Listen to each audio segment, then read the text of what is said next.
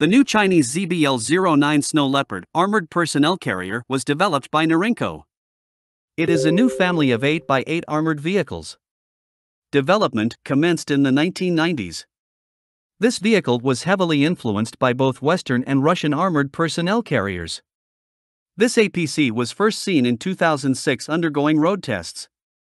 It was first publicly revealed in 2009. It is a successor to the whole host of aging Chinese armored vehicles. It might also replace the Type 92 APC and Type 92 IFV. Currently, it is being produced in large numbers for the Chinese Army. The ZBL 09 is also being proposed for the export customers as the VN1. It has been exported to Venezuela and possibly some other countries. The ZBL 09 was developed from a 6x6 armored personnel carrier, which was revealed in 2006. This vehicle had advanced modular design. Its construction consisted of six modules, including engine module, transmission, control, suspension, hull, and weapon station module. It was aimed at the export customers, but received no production orders. Development of the 8x8, which became the ZBL 09, followed immediately. Armor of the Snow Leopard provides all round protection against 7.62 mm armor piercing rounds. Front arc withstands 12.7 mm armor piercing rounds. Protection can be enhanced with add on modular composite ceramic armor.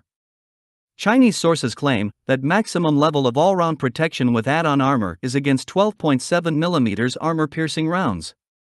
Front arc withstands 23 to 25 mm armor piercing projectiles. Side protection is against 12.7 mm armor piercing rounds.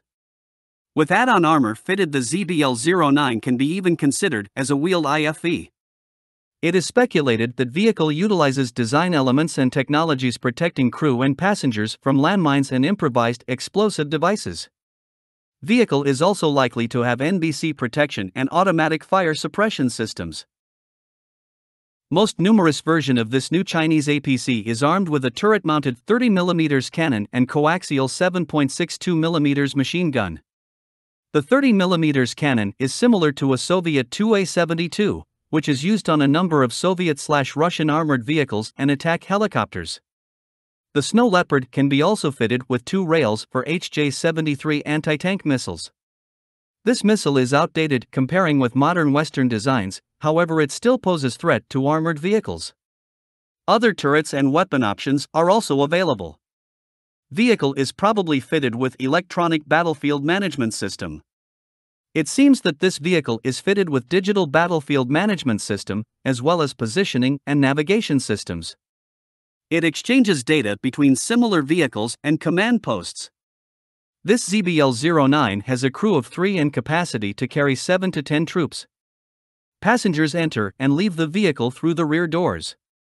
Some versions are fitted with power-operated ramps. In case of emergency troops leave the vehicle via roof hatches. There are some firing ports and associated vision devices provided for the troops. Vehicle is powered by a Deutz BF6 M1015C diesel engine, developing 440 horsepower. It is a German engine, produced in China under license. Engine compartment is located at the front of the hull. The engine is reportedly mated to a manual transmission. Vehicle is fitted with a central tire inflation system for improved cross country mobility. The new Chinese APC is fully amphibious. On water, it is propelled by two water jets. A whole host of variants were developed. A number of them are in service with Chinese Army. It seems that China operate these vehicles in rapid deployment units, similar to American Stryker Brigade combat teams. Each unit consists of various armored vehicles with different battlefield roles, based on the same platform. Other variants of the ZBL 09 are being offered for export. Also, there is a number of unidentified variants.